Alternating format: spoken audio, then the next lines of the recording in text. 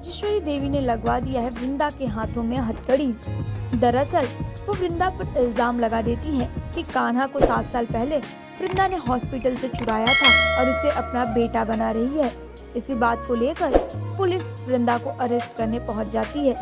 लेकिन वृंदा का बार बार ऐसा कहना है कि कान्हा उनका अपना बच्चा है।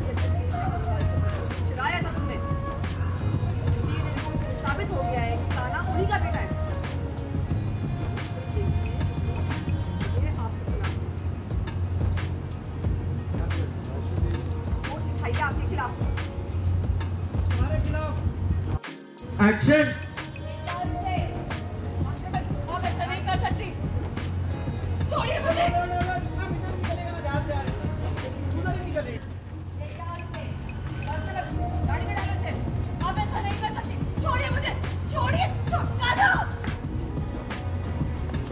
Cut. Rolling and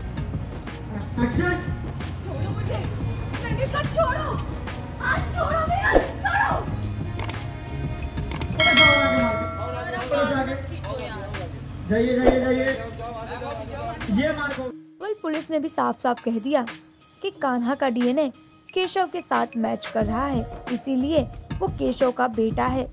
लेकिन वृंदा ये बात मानने को तैयार नहीं है। पर राजेश्वरी देवी का भी ये कहना है कि ये बच्चा केशव का ही है और वृंदा एक चोर है जो कि बच्चा चुराया करती है।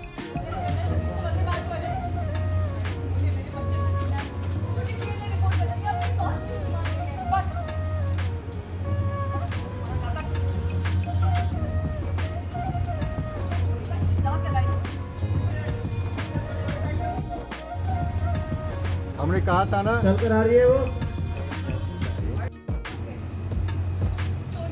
केशव अग्रवाल है। झूठ सात साल पहले हॉस्पिटल से केशव अग्रवाल के बेटे को चुराया था। और डीएनए रिपोर्ट से साबित हो गया है गाना उन्हीं का बेटा है।